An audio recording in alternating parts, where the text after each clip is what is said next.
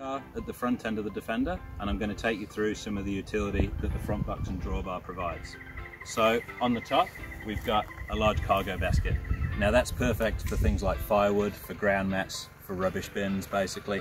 Anything that's quite likely to leave debris or rubbish behind because it's conveniently got some low washout points here so you can just hose it out at the end of the trip and it's got some easy um, tie down points at the top so you can just throw some bungee cords on there and secure it down. Now inside here you've got the main tunnel boot storage area of the front box which is a huge area. It's perfect for putting extra things like barbecues, generator slides or even for carrying larger bits of equipment like chainsaws and axes and things like that. That at the end there that you can see is actually the diesel tank for the onboard diesel heater that's fitted on this van here. It's worth noting as well that these doors actually stay open on gas struts so they're not going to blow shut on you. Now on the front here at the top you've got a pole storage area which is extremely useful to get quick and easy access to things like your awning handles and your leg winder handles, anti-flap kits and things like that.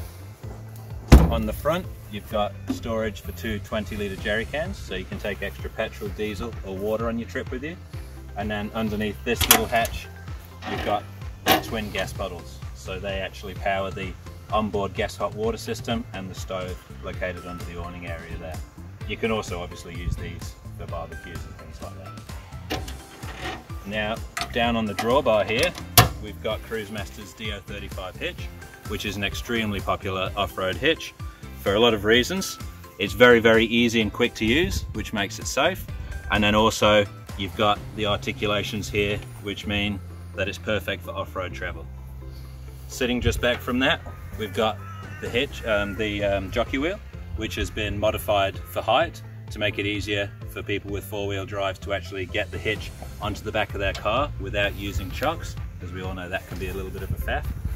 And then just behind here, we've actually got the trail safe unit, which is a requirement for all trailers over two tons in Australia. So as you can see, it's a very practical front end and very easy to use.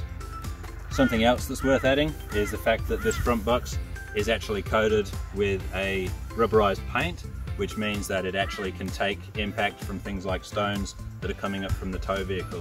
What we've actually done is chamfered a lot of these edges downwards so that hopefully most of the stones that are coming here will get hit and deflected down. Although that being said, we do recommend if you're going to do a lot of extended travelling on unsealed roads, then Stone Stop is always a great option to have on you.